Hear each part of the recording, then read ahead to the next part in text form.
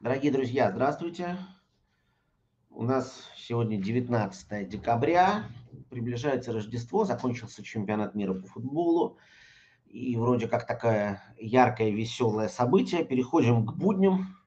Будни у нас в этом году очень разные, но тем не менее сегодня мы говорим действительно на важную, актуальную для многих тему э, вопрос инвестиций. Инвестиций в недвижимость, причем очень по-разному сейчас оцениваются перспективы рынков и прогнозы э, разные, да, то есть э, как, собственно, было, можно провести э, параллели с началом пандемии, да, когда сначала говорили, что все, рынки сейчас рухнут, потом выяснилось, что они, в общем-то, даже и не рухнули.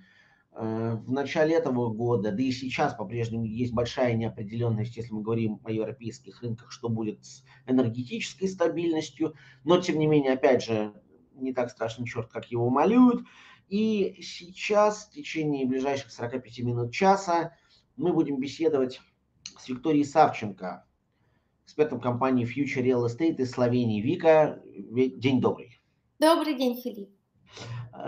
Словения весьма любопытная страна, но она в целом очень красивая и интересная. Но если мы говорим с инвестиционной точки зрения, это ну, вроде как каком-то смысле это Восточная Европа, э, ну, потому что бывшая республика бывшей Югославии, хотя есть э, гораздо более восточные да, страны в этом смысле. В каком-то смысле можно сказать, что это Южная Европа, хотя, конечно, это не Испания, не Италия, не Кипр, не Португалия. Э, это точно уж не Северная Европа, да, это точно не страна, которая ну, не является таким самым заметным игроком, если мы говорим о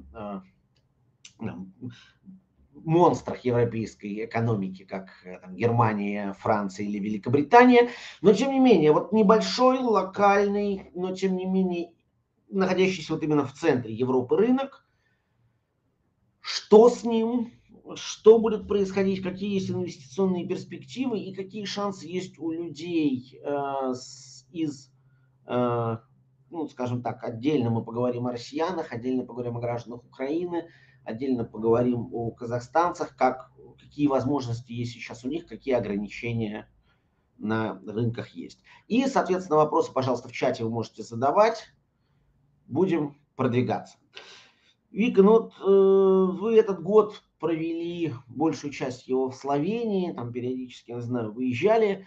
Э, если говорить на бытовом уровне, что изменилось, насколько выросли цены, как вообще э, вот, может быть, энергетический кризис, он есть, его нет. Несколько слов можно об этом. Я бы точно сказала, что кризиса нет. А, безусловно, цены поднялись, но это не так а, ощутимо, так как цены поднялись на всех уровнях. Это и бытовой уровень, и строительство, поднялись и цены на рабочую силу. Соответственно, когда рост идет цен а, не на одном каком-то факторе, а на всех, то в целом ты этого не особо замечаешь. Угу. Ну, вот Словения, ну скажем, если брать последние там месяцы, может быть лето, если подорожало, то что и насколько, я имею в виду на таком на бытовом, на продуктовом уровне, сейчас пока не касаемся недвижимости. Незначительно подорожали э, продуктовые корзины, это практически незаметно. Э, могу сказать точно, что вот э, посещая Россию, что-то даже в России намного дороже, чем в Словении. То ну, есть... это раз, да, неудивительно. Да. да. А, конечно, как сейчас все говорят, многие боятся, а, подорожала несколько стоимость электроэнергии, но, а, опять же, есть у государства план, они установили потолочные цены, и этот рост электроэнергии в 30%, он в целом не очень расстраивает, потому что есть предел, и выше определенных стоимостей его не будет. Окей. Okay. Давайте тогда несколько слов о именно недвижимости. Mm-hmm. Как изменились цены, э, скакнули они, не скакнули. Опять же, если можем вернуться там на некоторое время назад, потому что мы беседовали год назад, э, тогда определенный рост ощущался, но это была такая пандемическая специфика. Пожалуйста. Как раз таки да, вот если посмотреть на аналитику последних полутора-двух лет а, после ковида, был очень большой рост именно жилой недвижимости. То есть сильно возрос квадратный метр в крупных городах Словении, А, в маленьких городах Словении также есть большая, большой рост э, стоимости на квадратный метр. По нашей оценке рост составил где-то 30-40%. Это за год календарный или чуть больше, за больше? Вот за последние где-то полутора-двух лет. Ага, 30-40% в, ну, в Словении евро, поэтому то есть 30-40% в евро. Это э, новостройки, вторичка? Это и новостройки, и вторичка, и это именно мы говорим о жилой недвижимости. Mm-hmm. То есть понятно, что рынок жилья всегда самый эластичный, и цены растут и падают на этом секторе больше всего. Но все равно, вот именно в постковидный период начался очень сильный рост. Могу сказать, что этот рост был не только в Словении, также в соседних странах, как Хорватия, Венгрия, Австрия, других странах. И, конечно, на это повлияло несколько факторов. Это и нехватка объектов на рынке, это низкие кредитные ставки, а, повышенный спрос не только местного населения, но и иностранцев. Угу. Плюс а, в этом году можно сказать, что цены не падают, но немного сократилось количество сделок. Понятное дело, что некоторым людям не очень понятно, что будет дальше, и они и чтобы побороть инфляцию, а, хотя правительство Европейского Союза предприняло поднять ставки по финансированию. А, также был большой рост ставки Евробор. Но опять же, по нашим оценкам, если посмотреть а, в 2008 год, когда был небольшой кризис, тогда тоже ставка Евробор была увеличена, но она потом все равно упала. Угу. Угу. И опять же, говоря, что они увеличили ставки по финансированию, мы все равно говорим, что на сегодняшний день ставка кредитования – это 3%. Если говорить о бизнесе, то ставка может быть 4-5%, из них 3% это ставка Евробор и 2% фиксированная ставка у банка. Но опять же, у нас это повысилось, но если смотреть на соседние страны, э, где ставки 10-15%, процентов, то ставка абсолютно невысокая. Угу. Если мы говорим о покупателях, все-таки сейчас это внутренний спрос? 80% это местные, да, а, это местные, местное население, это фонды. Фонды приходят не только иностранные, но есть и славянские фонды. Они очень часто скупают и недвижимость, и также бизнес. 20% это иностранцы, это и граждане постсоветского пространства, это и граждане Германии, граждане Израиля, австрийцы, но да, большую часть, конечно, это местное население. Угу. А, вот про многие страны говорят, что тенденция, ну, особенно последнего года, она такая, то есть ставки были низкие, они были не только в этом году низкие, в прошлом, в позапрошлом, и это очень сильно повлияло на Э, ну, собственно, там, готовность людей покупать. Угу. То есть вот э, в банках держать деньги было невыгодно, в банках, в смысле финансовых учреждениях, э, держать деньги было невыгодно, они э, стали вкладывать в том числе в недвижимость, а вот сейчас происходит некая обратная составляющая, и вот в моменте, ну там, 3-4 месяца спрос падает. Вы это сейчас как-то фиксируете? то есть и не вот это подорожание на 30-40% все-таки это такая внушительная цифра, не получилось ли уже, не становятся ли цены уже никаким образом, ну, такие некомфортные для покупателей? Я бы сказала нет, рынок все-таки активен, а, цены не будут пока продолжать расти, то есть по нашим прогнозам в следующем году возможен рост, но абсолютно незначительный, то есть скорее всего цены останутся на том уровне, на котором они есть сейчас – а, может быть, будет уменьшение цен на те объекты, которые изначально была завышена цена. То есть, когда был вот этот невероятный спрос, конечно, некоторые продавцы очень сильно завысили стоимость. Конечно, такие объекты будут дешеветь, а все, что было адекватно оценено изначально, оно останется на той же цене. Естественно, а, не все будут готовы сейчас инвестировать, потому что кто-то выжидает, кто-то ждет, что будет дальше. Но, опять же, в Европе не так много альтернатив, куда инвестировать. То есть, если посмотреть э, на рынок ценных бумаг, э, тех же криптовалют, акций, все равно есть на рынке инфляция, и все-таки интереснее всего будет инвестировать в недвижимость. Всегда недвижимость, и сейчас также продолжается такая же тенденция.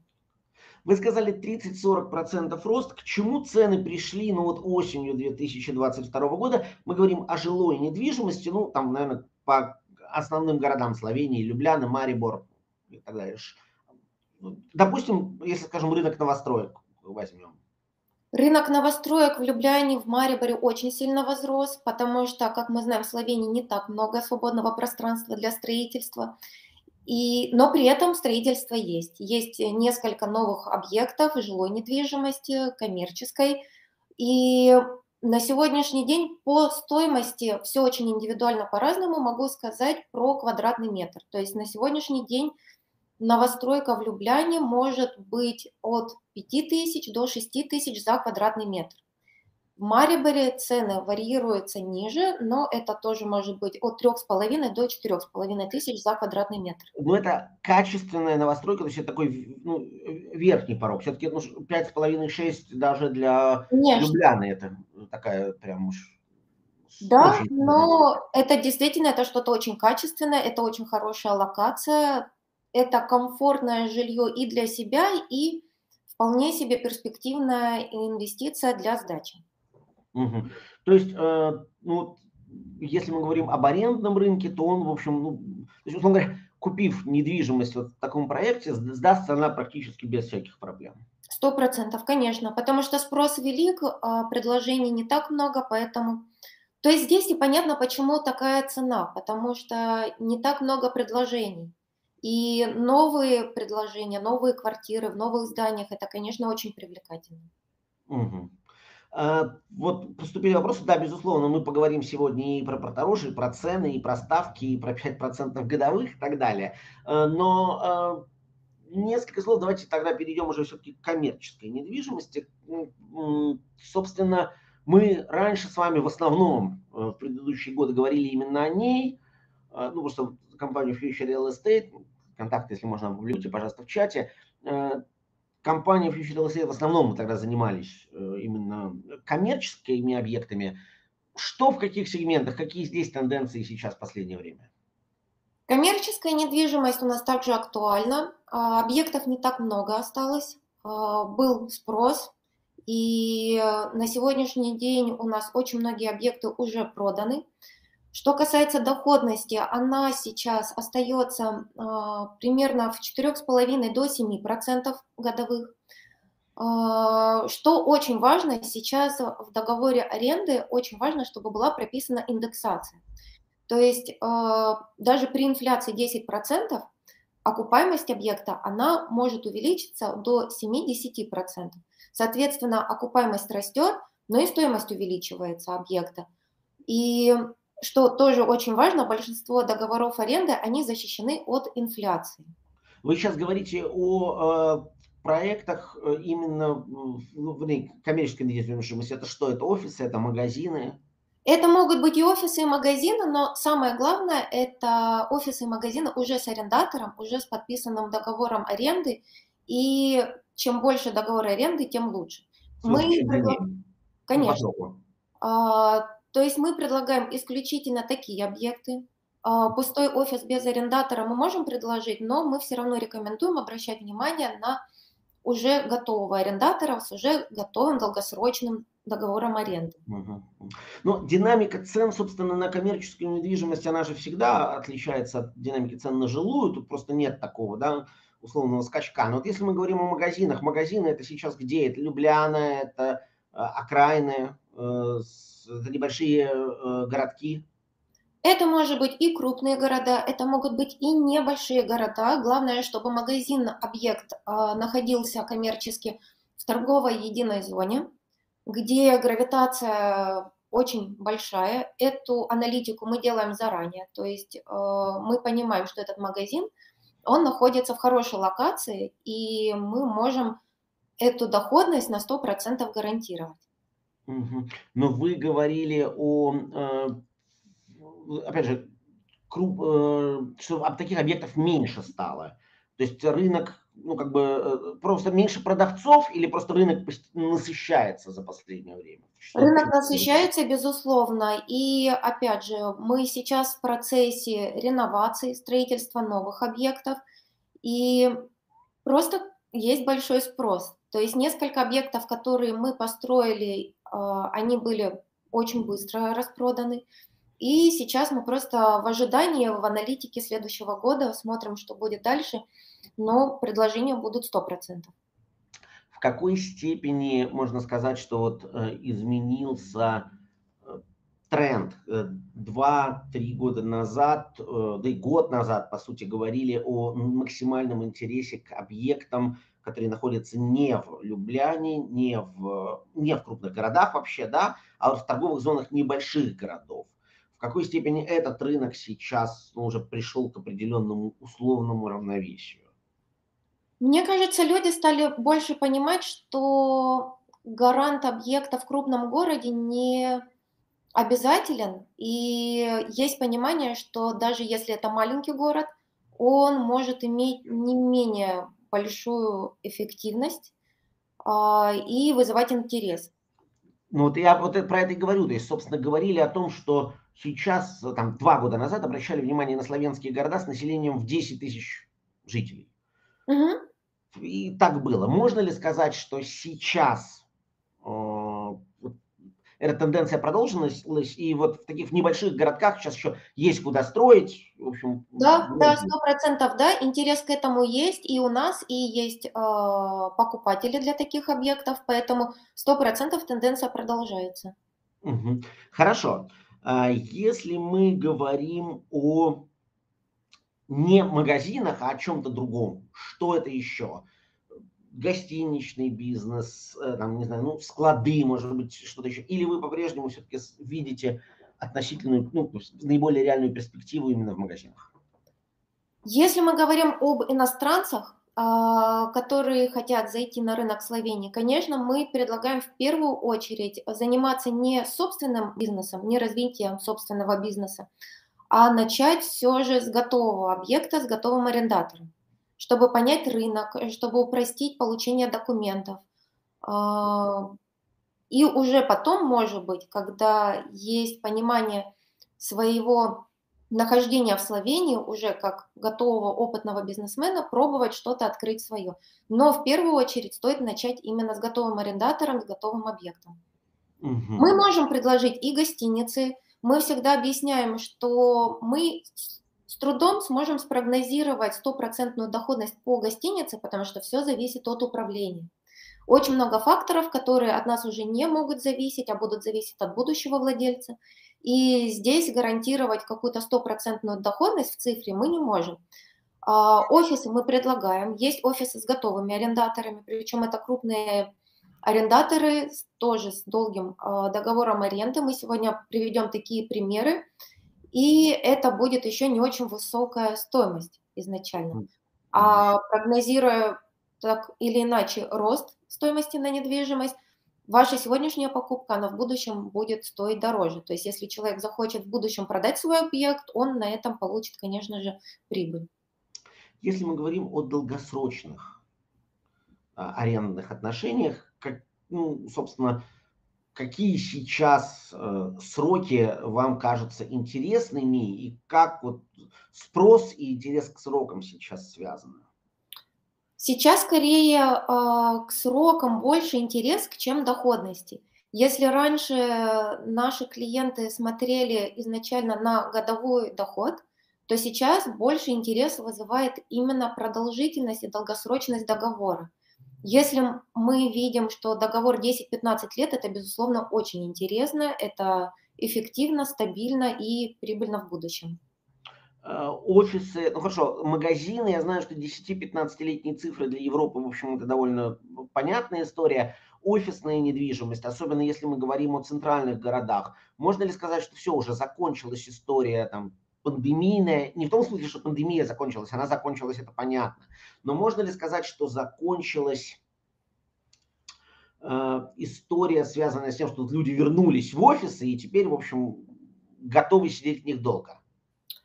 Люди вернулись в офисы 100%. в Словении не так распространена удаленная а, работа, как, например, а, в России, насколько мне известно.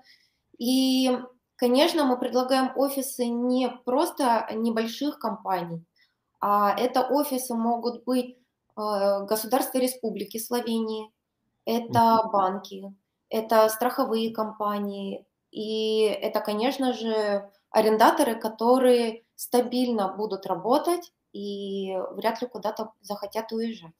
Ну, я смотрю, у нас просто уже э, э, наши зрители уже ждут конкретных примеров. Давайте сделаем так. Поговорим сейчас про конкретные примеры, а потом несколько слов о том, как, в принципе, сегодня можно осуществлять э, ну, и платежи, и вообще э, сделки в Словении, тем более, если э, у вас э, паспорт, допустим, гражданина России. Итак, несколько проектов. Э, так, секундочку одну. Секунду, я э, там полистаю. Так, пожалуйста, апартаменты в Любляне – это, соответственно, жилье. Да, это потрясающее место. Это в центре Любляны, а, возле реки. Если кто-то был в Любляне, они 100% проходили мимо этого здания. А, это идеальный вариант как раз-таки для сдачи в аренду. То есть, конечно, у нас сейчас есть огромный спрос э, на аренду квартир от э, людей из абсолютно разных стран. Конечно, повышенный спрос э, от людей из постсоветского пространства. Но здесь мы можем гарантировать, что такие апартаменты, они будут круглогодично сдаваться для иностранцев со всего мира, потому что это супер туристический центр, это очень красивые апартаменты, они свежие, они недавно были отремонтированы, и это очень хорошая будет именно инвестиция, если интерес именно в инвестировании в жилой объект. А вот доходность в год э, – это цифра э, до уплаты налогов? Да, совершенно верно. Ну, то есть, вот э, если, ну, там доход, э, там, конечно, надо уже в деталях подсчитывать, но если я правильно понимаю, то вот это где-то 4% годовых, где-то вот такая вот цифра, вот такие уже после уплаты налогов получается. Да, все, что касается расчетов, здесь мы общие э, сведения приводим, но для всех интересующихся, если есть интерес, мы можем делать детальный расчет и показывать э, доходность до уплаты налогов, после уплаты налогов, и расписываем а, единоразовые траты при приобретении недвижимости и ежемесячные траты. То есть у покупателя перед покупкой будет а, информация детальная а, в цифрах об этом объекте. Если мы говорим вот об этом конкретно объекте, то о чем это краткосрочная аренда, долгосрочная? Я думаю, что здесь больше подходит краткосрочная аренда, так как это туристическое место, и такие апартаменты, они будут не очень дешево стоить для долгосрочной аренды. Угу. Если мы говорим, ну вот сразу вопрос вот конкретно по налогам, я понимаю, что может быть вы с точностью до там, евро не скажете цифру, но порядок хотя бы, хорошо, доходность в год это же 28 300, после уплаты налогов о чем здесь можно будет говорить, о какой цифре? А, вот по налоговой ставке я быстро отвечу. А, в Словении есть два вида налога. Это упрощенная система и система доходы минус расходы. Упрощенная система – это 4%, и доход до 100 тысяч евро в год позволяет вам находиться на упрощенной системе. Со второго года доходность в год может быть увеличена, то есть со второго года можно получать до 150 тысяч в год и при этом оставаться на упрощенной системе налогообложения. Э, просто сразу понимать, э, ну мы об этом чуть подробнее скажем, э, гражданам не из Евросоюза, они же могут покупать вот эту квартиру только на юридическое лицо. Любую недвижимость, жилую и коммерческую, можно покупать только на юридическое лицо, совершенно То есть я становлюсь, вот покупая этот объект, вот тут цена указана, я покупаю юридическое лицо или я покупаю, вот, вернее, я покупаю юридическое лицо, на котором находится эта квартира, или это чуть более какой-то сложный процесс? А, процесс несложный. Сейчас есть, конечно, некоторые изменения, но сразу скажу, все возможно. Если кто-то кому-то сказал, что сейчас никому не открывают компании счета или счета закрывают, а, могу подтвердить на нашем опыте, на опыте наших клиентов такого нет. А, процесс следующий. Иностранцу необходимо открыть счет, открыть компанию в Словении, нанимать в эту компанию дополнительных сотрудников нет. Необходимости а, учредитель компании может быть единственным сотрудником в этой компании. И на эту компанию приобретается объект недвижимости. А, сейчас есть, безусловно, некоторые сложности для иностранцев, но мы можем помимо вот этого классического процесса открытия компании, открытия счета и приобретения предложить уже готовую компанию с уже с открытым счетом, и мы можем это все просто переоформить на нового учредителя. Окей. Давайте посмотрим второй. Апартаменты Мозырь, это, это, видимо, уже что-то горнолыжное. Да, это тоже туристическое место, очень популярное. Это потрясающий горнолыжный курорт. А, это Гальте, и он пользуется спросом не только в зимний период. А, в Словении и в соседних странах люди очень любят активный образ жизни, и это также очень перспективные для инвестирования квартиры. У нас она осталась, по-моему, уже одна, а, достаточно быстро все остальные купили. Это тоже как а, очень хороший вариант для инвестирования. Также это можно использовать для себя, для отдыха по выходным. И сдача также будет гарантировать вам а, регулярный доход. Окей, э, тут же сразу вопрос, раз мы говорим о юрлице, если мы говорим о юрлице, то какие расходы на содержание этого юрлица, потому что это уже, собственно, не налоги, это же немножко другая история. Ну вот в случае, если за, за этим юрлицом там, ну, скажем, один объект недвижимости, о каких порядках может идти речь? Помимо налогов есть стандартные ежемесячные э, расходы. Это расходы по бухгалтеру. Это приблизительно 100 евро в месяц и а, обслуживание счета в банке – это 20. То есть регулярные расходы 120 евро в месяц, а, плюс налоги, это мы все детально можем просчитать в зависимости от объекта. И учредитель, если он один в своей компании, он просто сам себе платит зарплату. В целом больше никаких а, расходов нет. Конечно, если мы говорим о жилой недвижимости, здесь уже есть индивидуальные расходы, если мы говорим о коммерции, то, как правило, управляющая компания, арендатор, они сами оплачивают все расходы. Имеется в виду коммунальные и всякое такое? Да, да, арендатор сам это все платит. Окей. Офисное помещение, вот это уже коммерческая недвижимость, и вот mm-hmm. это как раз именно офис. Несколько слов об этом, что это такое. Это как раз вот тот пример, о чем мы говорили немножко раньше. Это офис банка Адика, очень э, крупный банк, достаточно стабильный. Он находится э, в городе Вилене. Это небольшой город, но это центр, э, первый этаж. Э, перед зданием есть открытая парковка. И тут, что очень хорошо, здесь договор аренды 10 лет. Э, доходность кому-то, может быть, покажется небольшой в 5%, но при таком договоре аренды мы можем также для иностранного покупателя э, предложить возможность кредитования. Это тоже возможно, даже сейчас. Угу. А, еще разочек. Вот эта цифра 18756 – это история, э, опять же, до уплаты налогов. Да, да, да, это чистый доход до уплаты налогов. Окей, хорошо. Я думаю, что, ну, на самом деле, сейчас, конечно, математикой уже заниматься не будем, но я думаю, в частном порядке можно будет уточнить, потому что, конечно, интересно посмотреть а на выходе, что получается в этом случае. Я правильно понимаю, что э, этот банк уже, этот объект уже с компанией продается? Вот это да, вот это уже арендатор, а, офис уже работает, а, банк уже туда заехал, и это уже готовый бизнес. Окей, хорошо. Так, ну и давайте смотрим дальше. Вот еще одна даже история в Мариборе. Похожий объект, а, стоимость выше, объясняю, почему Марибор – это достаточно крупный город, это второй город по величине в Словении после столицы Любляны.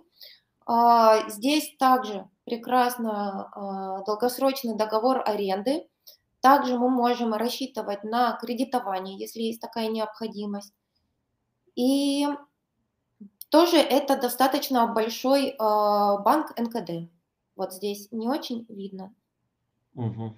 Ну, в любом случае, все данные, помимо цифр, также и об арендаторе, мы все можем предоставить по запросу, никаких проблем. Угу. А, уточнить тогда еще все-таки хочу, откуда вообще появляются, почему сейчас продают такие объекты, в чем вот, ну хорошо, два объекта, понятно, что ты там 4-5%, тем более грязными, это еще не бог весь какие цифры, но тем не менее. А, а почему такие объекты продаются? Кто, кто сейчас продавец, в чем интрига для него? А, интриги никакой. Я думаю, что продавцы, покупая такие объекты, они на таких объектах зарабатывают. А, у них скапливаются определенные деньги, которые они готовы дальше вкладывать в что-то крупное, более крупное, чем эти объекты. То есть рынок очень активен. А, очень часто покупатель сегодня становится в ближайшее время продавцом. Цены растут, и у него есть, безусловно, понятная выгода от этого. Угу, угу.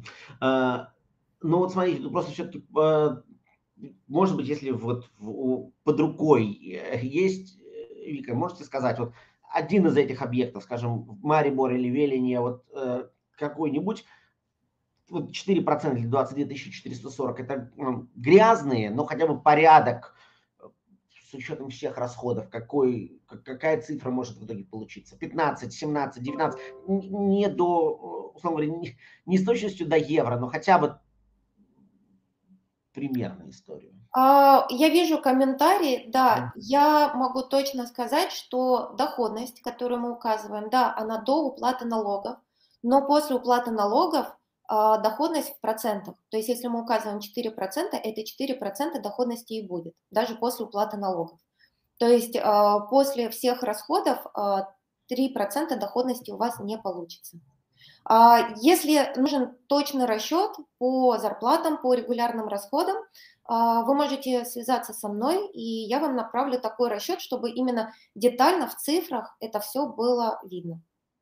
Окей. Okay.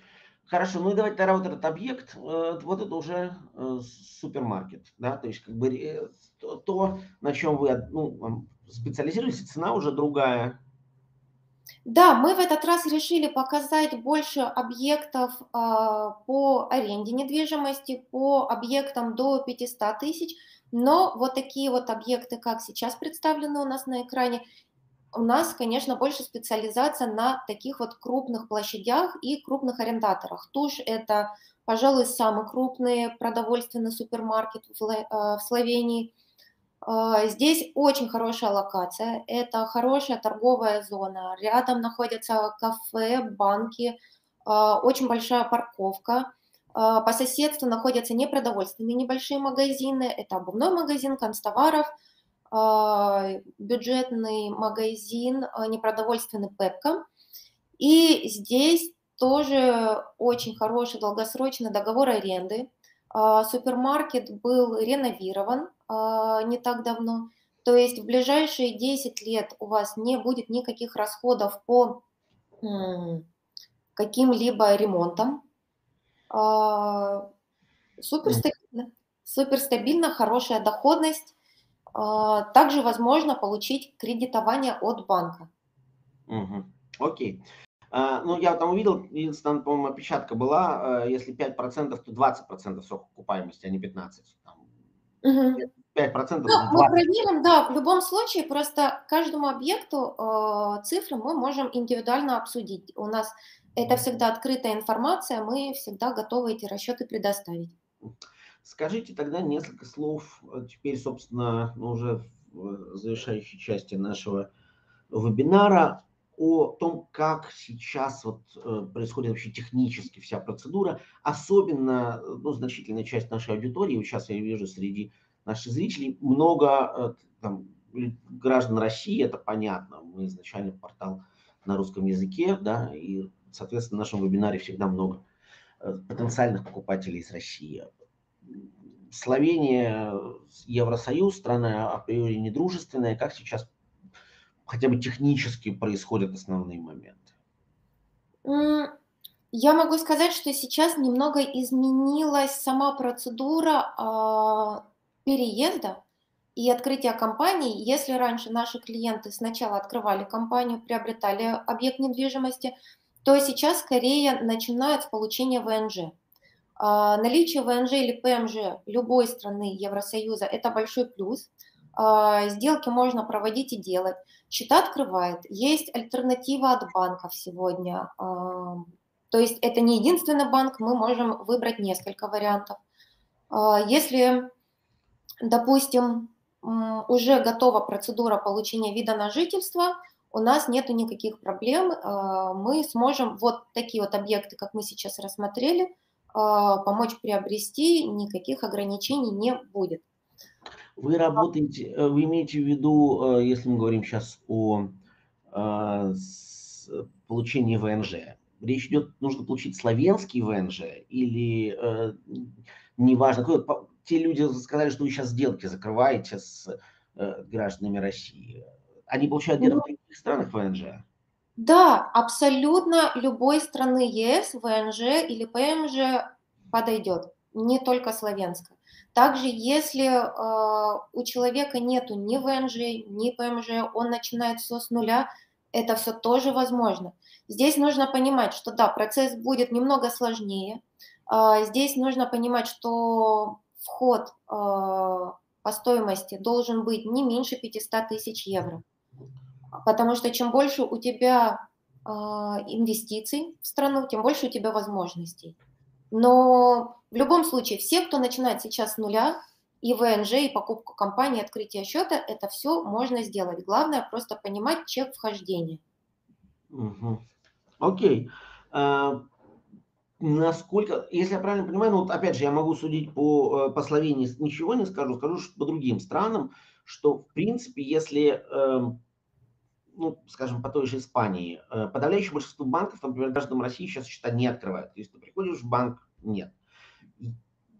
Опять же, называют, тут я сам эту процедуру не проходил, называют там один-два банка, что если ты осуществляешь и в конечном итоге заинтересован там, в приобретении некой недвижимости, то с тобой начинают разговаривать просто потому, что за тебя еще, условно говоря, слово замолвит потенциальный продавец. В Словении, как эта система хотя бы примерно работает? Я понимаю, сейчас вслух не все можно говорить, но тем не менее, что можно, чтобы было хотя бы примерно понимание. Важно понимать, где находятся финансовые средства. То есть самое первое важное – это документы клиента о происхождении средств. А, для нашей работы а, с клиентом нам нужно видеть наличие чистых и понятных доходов. Далее есть различные юрисдикции, а, откуда будут переводиться средства. То есть у нас есть опыт, когда клиент заводил деньги на свою славянскую компанию из Казахстана, из Дубая, Сербии, других стран. И на наших примерах при наличии документов о происхождении средств, понятных, открытых, чистых, перевод этих средств, он идет на славянскую компанию для покупки недвижимости. То есть это не транзитный счет, куда деньги попадают, а потом куда-то исчезают. То есть нужно понимать, что эти деньги, они идут для инвестирования в страну, и у банков в таком случае не возникает дополнительных вопросов, и все получается. А, есть еще дополнительные возможности, это перевод а, средств на экскроу счета адвокатов, юристов, агентств по недвижимости. То есть есть несколько вариантов, индивидуально мы все сможем разработать.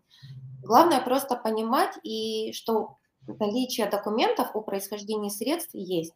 И да, заводить средства нужно будет через какие-то счета не в российских банках. Угу. Вопрос тут тоже э, идет дискуссия по поводу налогов с зарплаты в месяц. Какая налог зарплаты в Словении? Ну, Мы это... можем это все индивидуально просчитать, потому что вот сейчас назвать какую-то единую цифру или процент э, очень сложно. Все зависит от объекта. Свяжитесь со мной, я вам все э, в расчетах укажу детально. Хорошо. Ну и тогда в заключении ваши ощущения, ближайшие планы, э, перспективы европейской недвижимости как таковой. То есть спрос, предложение, как они будут коррелировать в ближайшее время? Я думаю, что спрос продолжится. А, мне кажется, что удовлетворить тот спрос, особенно на жилую недвижимость, которая есть сейчас, а, продолжится еще долго. А, мы прогнозируем на следующий год увеличение, ну, может быть, на 3%. Это цены? Э, стоимости, да, и жилья, и коммерции. Но в целом все-таки, скорее всего, цены э, заморозятся на том уровне, на котором они есть сейчас. Э, активность вряд ли будет снижаться. Очень важно еще, я хотела бы добавить про коммерческую недвижимость, все-таки про коммерческую недвижимость, да. что да, мы сказали, что сейчас очень важно смотреть именно на долгосрочность договора, и также смотреть на объекты с хорошей энергоэффективностью. То есть сейчас это тоже очень важный момент. Это дает а, минимальные затраты на содержание такого объекта. Например, а, большие коммерческие объекты, которые мы сейчас продавали или развивали, они, например, имели тепловые насосы, которые работали от электричества. Как я уже сказала ранее, в Европе государство ввело потолочные цены на электроэнергию, на теплоэнергию и они очень сильно мотивируют всех устанавливать солнечные станции. Почему это может быть еще и интересно? Например, а, на одном из наших новых объектов мы установили такие солнечные батареи, которые позволяют покрывать до 70% потребностей самого объекта. А, этой станцией управляет управляющая компания, и также эту электроэнергию мы можем продавать другим соседним арендаторам. То есть это очень интересная комбинация, и если клиент, объект имеет такую станцию, у клиента есть возможность получать и за аренду объекта, и за солнечную батарею. Угу. То есть а, мы сейчас э, развиваем эту, это направление, это будет как дополнительная доходность, и получается, что арендаторы при этом будут платить на 30% меньше, чем обычно на рынке. Это и... речь, речь идет о объектах, э, но это вот именно те объекты, которые как бы отдельные здания должны быть. Или это может быть, э, ну, скажем, ну, покупая банк, э, это помещение, где находится банк, в большом здании, наверное, это воз... такой возможность. Вряд ли. Вот скорее последний объект из нашей презентации, чтобы визуально понимать, как это должно выглядеть. То есть это один настоящее здание, но оно как раз-таки вот имеет соседних других арендаторов. То есть вот примерно в таких вот объектах это возможно. Угу. То есть важно обращать внимание в коммерческих объектах также на эффективную систему отопления, возможность установки солнечных батарей. Окей. Okay. Хорошо. Ну что ж, вроде основные моменты обсудили. Э, контакты Виктории Савченко, компании Future Real Estate, э, я думаю, можно еще раз опубликовать.